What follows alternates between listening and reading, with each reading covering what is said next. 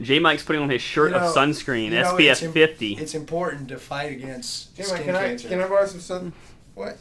This is baby sunscreen, J well, you know, we didn't we didn't have much left in the house, so I It, just smell- it smells like baby oil and powder in here. Well, hey, you know, doesn't it take you back to your childhood? no, I can't remember that.